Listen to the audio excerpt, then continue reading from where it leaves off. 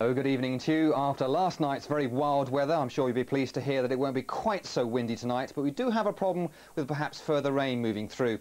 Now, there are plenty of showers on our radar right now, many of which across Northern Ireland and parts of Scotland are falling readily as sleet and snow, and even further south, perhaps a few wintry showers. Certainly quite a widespread frost for the northern half of the United Kingdom, with the added problem, I think, with those snow showers, or perhaps some quite nasty icy patches to watch out for, as those snow showers become a bit more widespread in the second half of the night. But this is the area of low pressure we're watching. It's going to race along the more southern counties of Britain during the course of the night.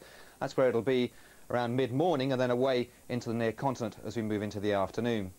So for a time we are going to see more rain. Now that may well fall as sleet and snow over the hills and mountains, but for those areas already very badly affected, Wales, southern England, South Midlands and also into East Anglia, we could have some heavy rain, but it will move through quite swiftly and also we could have some rather strong winds, especially in the English Channel. So for the first half of the night, we're going to see more of that wintry stuff coming down across a large part of Scotland and Northern Ireland. There's that more persistent rain, which will be around, I think, for much of the morning before it all moves out of the way.